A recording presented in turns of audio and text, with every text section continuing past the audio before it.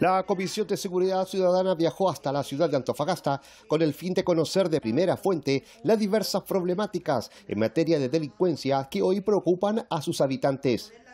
El objetivo es recopilar antecedentes de diversas autoridades y la comunidad que permitan generar el consenso necesario para avanzar en proyectos de fortalecimiento del rol de las policías y el mejoramiento de la persecución criminal.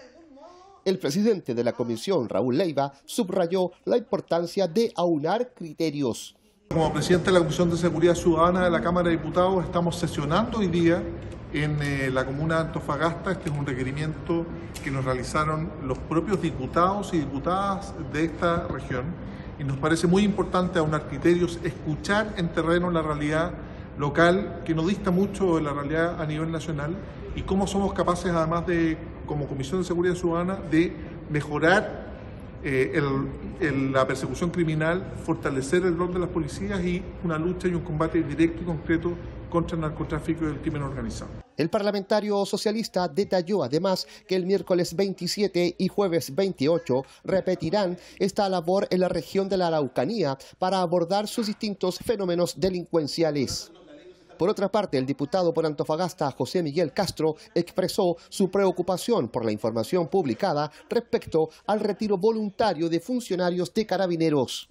La primera vez que una comisión de seguridad ciudadana está funcionando acá, dando en el fondo la importancia que tiene el norte de Chile, la importancia que tiene como barrera para que fenómenos como eh, las drogas, como los delitos importados estén avanzando hacia el resto del país. Eh, nos han quedado cosas realmente importantes y que han salido a la luz hoy en día. Podemos darnos cuenta de que existe el problema, como se supo en toda la prensa, de que gran parte de los carabineros podría dejar de hacer sus funciones. Nosotros tenemos un 50% de los 1.633 carabineros que están acá en la zona que perfectamente podría salir de la institución. ¿Cómo hacemos para que se queden? ¿Cómo hacemos para que sigan combatiendo el crimen? Es una de las tareas acá importantes. La jornada en terreno contempló reuniones con autoridades locales, como el gobernador regional de Antofagasta, Ricardo Díaz, el fiscal regional Alberto Ayala y el defensor regional Ignacio Barrientos.